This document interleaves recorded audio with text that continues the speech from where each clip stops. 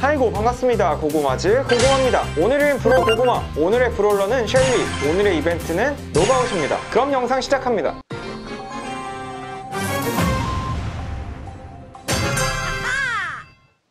게임 시작합니다.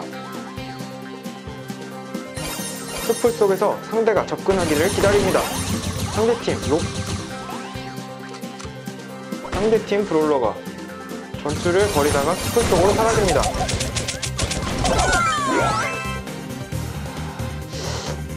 지금 우리 팀 폴트가 한 명 남았고 상대팀은 두 명의 브롤러가 남았습니다. 1대1 상황입니다. 남은 시간 30초. 엘프리모와 콜트의 맞대결입니다. 남은 시간 20초.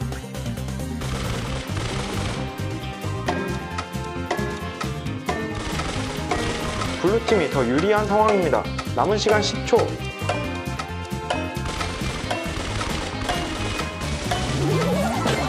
첫 번째 라운드 승리합니다. 두 번째 라운드 바로 시작합니다. 특수 공격 사용이 가능한 상황입니다.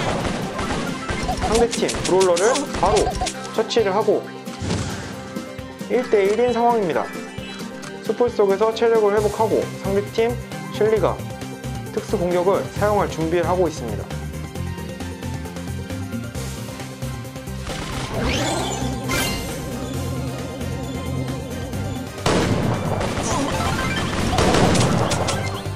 상대팀 특수 셸리의 특수 공격을 피하고 그대로 갚아줍니다. 남은 시간 23초.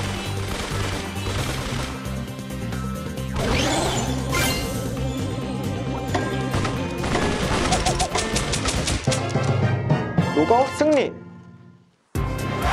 승리로 게임 마감합니다.